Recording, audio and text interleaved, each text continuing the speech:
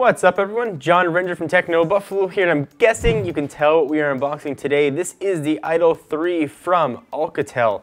This phone's got a lot of unique features, especially when you consider its price point of 249 bucks if you pre-order, uh, or 279 if you decide to wait till its release.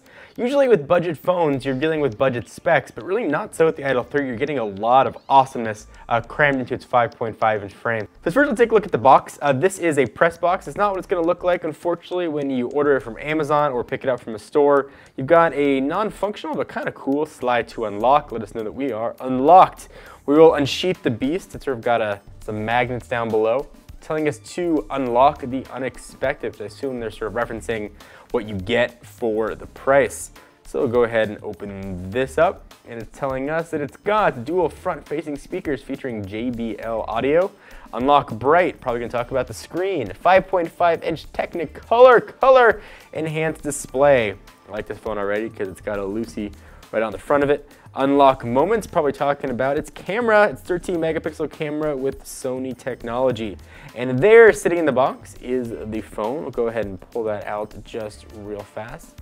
Uh, push it off to the side for one quick second and take a look at the accessory pouch, which is going to live under here. You've got a wall wart with the USB port. We've got a teeny tiny little thumb drive, I think. It's probably the uh, press kit.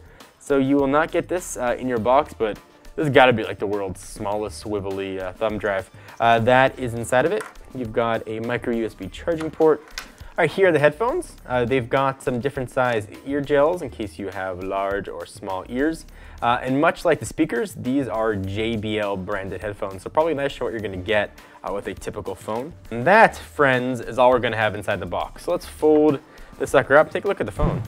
Here is the Idol 3 all dolled up with stickers. First thing I gotta do, let's peel these suckers off. All right, so now that I have de-uglied it with stickers, it's still got some remnants uh, stuck on there.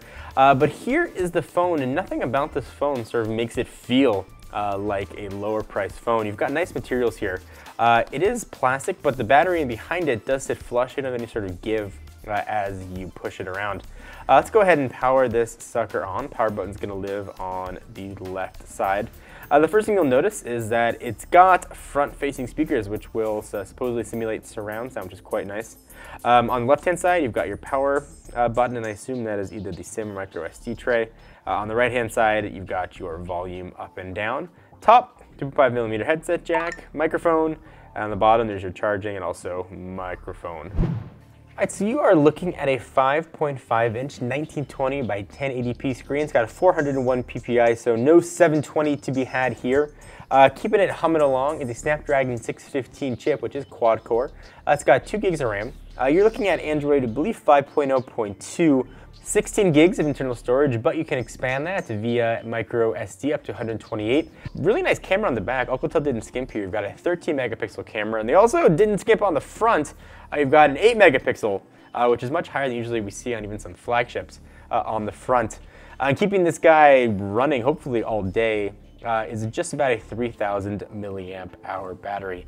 And not a lot of people are always curious. Let's take a look at some of the wallpapers they're going to give us. Uh, so go ahead and jump into that. I always get questions about what kind of wallpapers are going to be built in.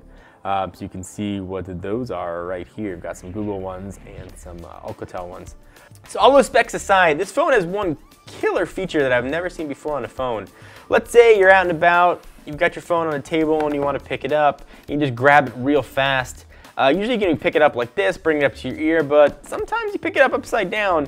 You can hold this phone any way you want and you'll be able to make a phone call as long as the screen is facing your ear. So upside down, um, right side up, it's not gonna matter. You can take advantage of the speaker and microphone setup on the top and bottom uh, and answer and make phone calls.